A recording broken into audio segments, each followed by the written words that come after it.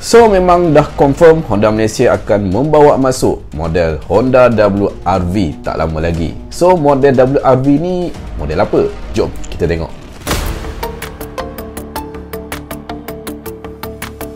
Baru-baru ni kita dah tengok gambar tular berkenaan dengan satu model misteri aa, yang sedang diuji kaji di jalan raya di Malaysia.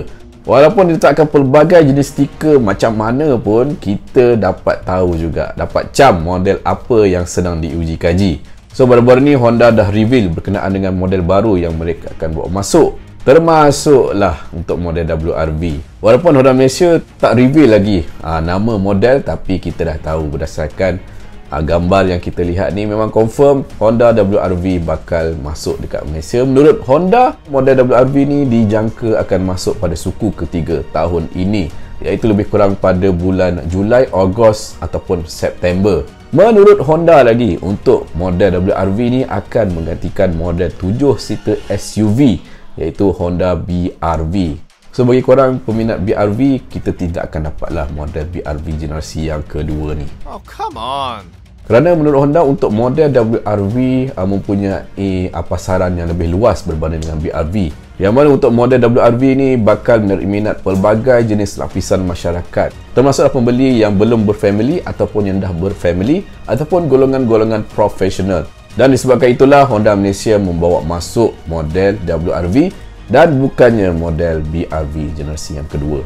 Kalau kita lihat untuk model WRV ni dah lama dilancarkan uh, di Indonesia iaitu pada November tahun lepas. Yang mana hadir dengan dua variant iaitu variant SV dan juga RS dan kalau kita lihat untuk potensi dekat uh, pasaran Malaysia ni Honda Malaysia mungkin akan masuk dua variant juga. Untuk nama variant kita tak dapat nak kenal pastilah. Tapi yang pastinya model RS adalah merupakan model high spec untuk Honda WRV kalau kita lihat berdasarkan size dimension untuk Honda WRV ni, pesaing terdekatnya adalah Pro 2 Artiva yang mana dikategorikan uh, sebagai small B segment SUV ataupun small SUV yang mana terletak di bawah segmen B HRV.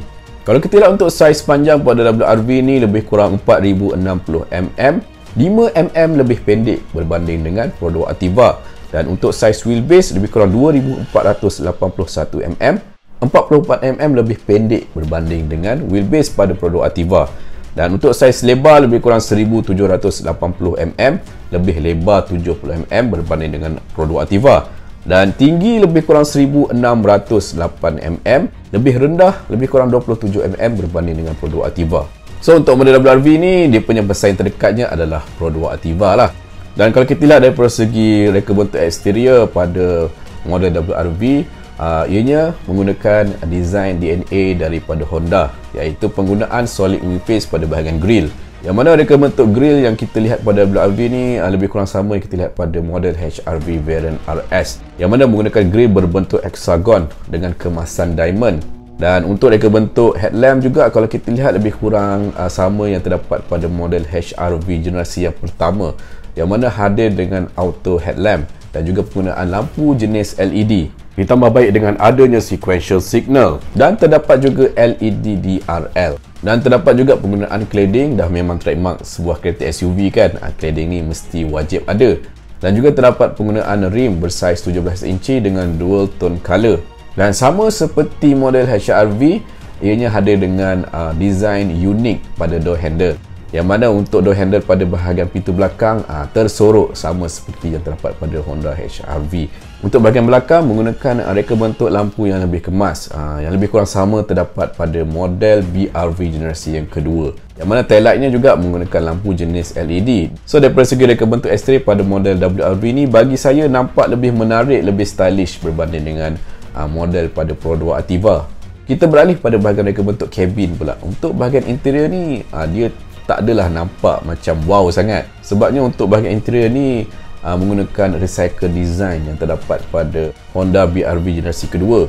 Dan sebelum digunakan pada Honda BRV generasi kedua digunakan juga pada model Honda Amaze yang terdapat di India. Katnya untuk reka bentuk interior pada WRV ni uh, sememangnya menggunakan interior yang di recycle balik.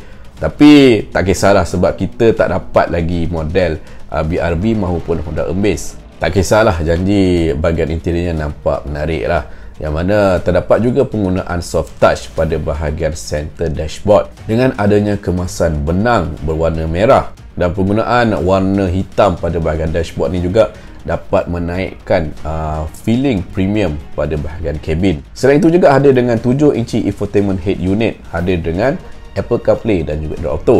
Tapi yang kurang menariknya untuk bahagian meter cluster hanya menggunakan analog meter uh, berbanding dengan pesaingnya seperti Ativa uh, dia menggunakan fully digital meter cluster.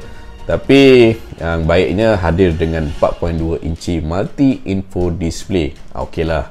Dan untuk WRV juga hadir dengan automatic aircon, hadir dengan keyless walkaway auto lock, remote start engine dan juga hadir dengan reverse camera dengan multiple view daripada segi keluasan kabin kita jangkakan luasnya lebih kurang sama terdapat pada produk Ativa dan untuk enjin yang digunakan pada Honda WRV menggunakan enjin yang sama terdapat pada Honda City iaitu enjin berkapasiti 1.5 liter iVTEC yang mana menghasilkan power output lebih kurang 121 PS dan juga 145 Nm of torque dan juga menggunakan transmisi yang sama iaitu transmisi CVT so daripada segi enjin dan transmisi ni tak ada benda yang kita nak wowkan sangat lah. Sebab ianya menggunakan enjin yang sama yang terdapat pada Honda City. Dan daripada segi safety system untuk Honda WRV hadir dengan sistem keselamatan yang canggih juga. Yang mana hadir dengan 6 airbag. Hadir juga dengan Honda Sensing yang mana mempunyai keupayaan level 2 semi autonomous driving so daripada segi harga kalau kita lihat untuk model HRV variant yang paling rendah sekali berharga 114,800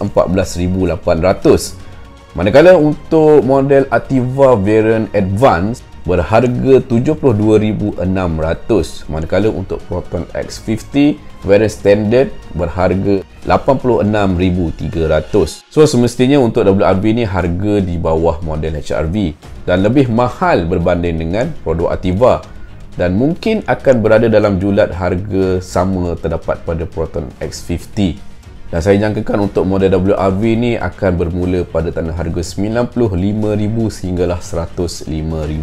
So kalau Honda Malaysia meletakkan harga WRV lebih kurang 95,000 sehinggalah 105,000, uh, Proton bakal garu kepala lah. Uh, sebabnya untuk Proton X50 ni uh, adalah merupakan model uh, SUV yang terlaris lah dijual oleh Proton. Dan kalau WRV ni masuk dekat Malaysia, dengan lingkungan harga yang lebih kurang sama bakal menarik pembeli-pembeli X50 ni untuk mengambil dan membeli Proton. Eh Proton pula. Honda WRV yang mana untuk brand Honda ni memang dah establish dekat Malaysia. Yalah Honda kan. Siapa tak nak mahal macam mana pun orang tetap akan beli. So apa pendapat korang berkenaan dengan Honda WRV adakah model ni akan dapat menyaingi model seperti Ativa dan juga Proton X50 ha, korang boleh komen di bawah. Itu saja video pada kali ini. Sebelum tu jangan lupa tekan button like komen, share dan subscribe channel Mekanik.